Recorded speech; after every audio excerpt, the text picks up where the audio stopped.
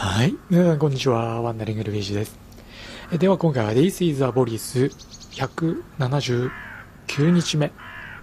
1月9日木曜日プレイをしていきたいと思います。えっ、と、前回ですね、もういよいよ市長を襲撃したということで、えーご覧の通りですね、各新聞の一面はそのニュースで埋め尽くされているという状態ですね。フリーバグ警察が視聴者を襲撃、銃撃戦でスチュアート・ロジャーズ死亡。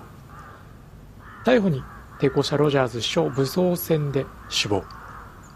フリーバグでクーデターということですね。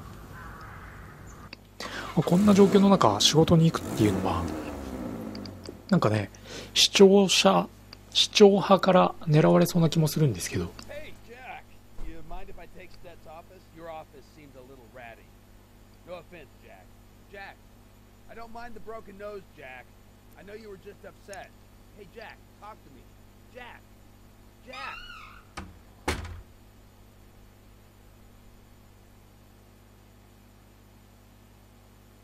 ポールセンっていうのは副所長ですね。さあ、こんな時も普通に仕事をするんだな。クーデターが、まあ、起こした側の人間ではありますけど、まあ特に何もただ操作することはないな。いつものね、警官が下にずらっと出てきて、派遣するだしないだみたいなのがないですもんね。このまま街の様子をうだうだ見てるだけかな今日はいずれにしても180日目で50万ドル貯めるっていう目標まであと2万5000ドルまで来てるんですけどね。画面の上部47万5210ドルまで来てるんであと2万5000ドルなんとか貯めたかったな。このまま街を眺めてるだけだと当然金も入ってこないからな。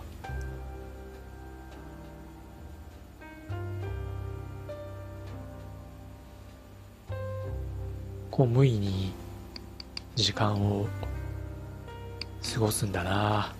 結構ねあの僕は奥さんとかによく言われるんですけど常に何かをしてたい人間らしくなんか暇な時間をあんまり楽しめないよねとかってよく言われますね。逆に奥さんのんびり系なんであのー僕がいつもせこせこせこせこしてるのをいつも忙しそうにしてるねという感じで生温かい目で見守られているんですけどなんかあれだな。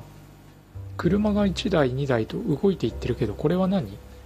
警察署長としての職務を放棄して勝手に警官が自主的に動いていってくれてるのかな？自分自身はね何も指示は出してませんからねここまで。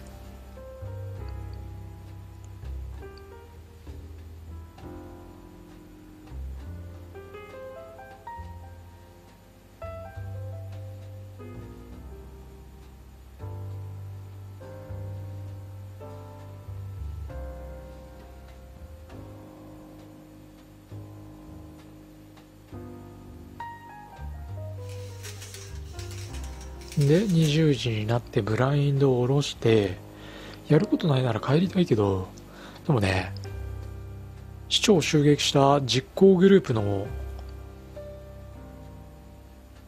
リーダー的存在なんで本当に反市長派から狙われそうですよね。だとすればこの警察署内にとどまってる方がまあ安全は安全な気はするけど普通に今日は自宅から出勤してたっぽいしな。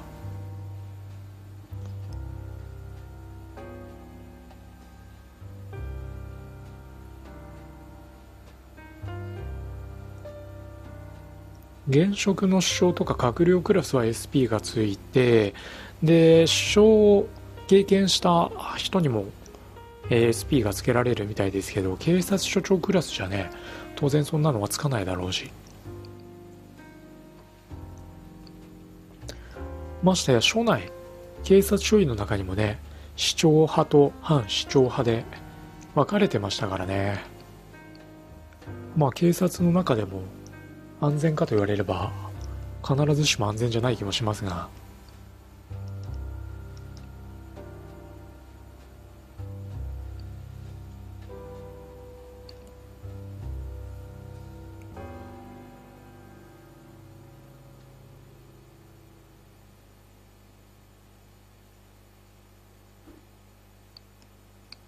チャフィーからですね。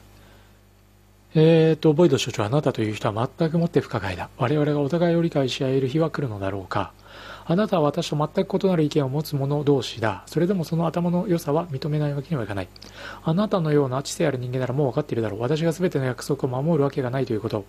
もう時間切れで、所長。ここから私の時間だ。明日の朝になって警備スタッフに無理やり追い出されるような目には会いたくないだろう。だから夜明けまでに署から出て行ってくれ。ああもう一つの約束に関してだが、土産なしで返すつもりはないから安心してくれいいと。ここにある金で一生安泰に暮らせるはずだ。何が目的だったんだっけ？この所長は。そもそもっていう話だと。ちょっと待ってくれ。1ドルかよ。なんか2万5千ドルぐらいくれないのかな？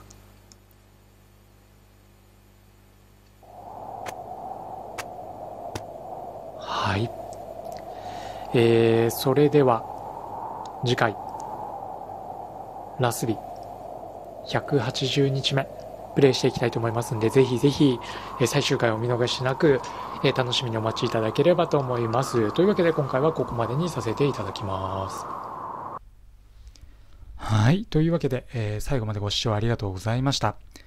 ぜひ、チャンネルの登録、あとはですね、Twitter の方で動画の収録状況とあとは配信状況、まあ、その他もろもろ情報を発信しておりますので、え興味のある方はぜひ Twitter の方もフォローしていただければ嬉しいなというふうに思います。